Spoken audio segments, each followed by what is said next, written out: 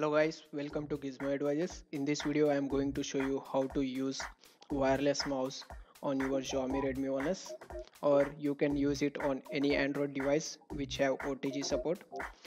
The things you need are the Android smartphone itself, next OTG cable and you need the wireless mouse. USB mouse also works but I don't have one so I am using it with wireless mouse which is Lenovo.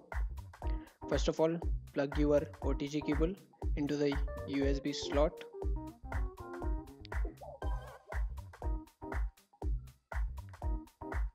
Now plug your USB receiver wireless mouse USB receiver. Plug it in once plugged in turn the wireless mouse on by turning the switch on.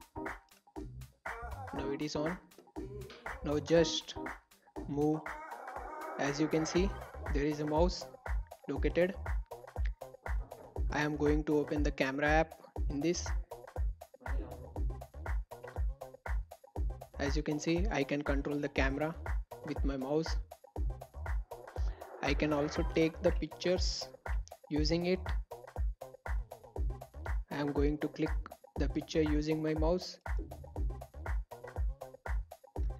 The picture is now clicked. Pressing the scroll scroll button will take you to the home. As you can see it has taken to the home. Let me open the settings app and show you how the scroll key works it is working perfectly fine. Now I am going to open the battery and by right clicking you can go back. As you can see it is going back. That's it guys. This is a tip on how to use wireless mouse on your android smartphone. I hope you enjoyed this video. See you in the next video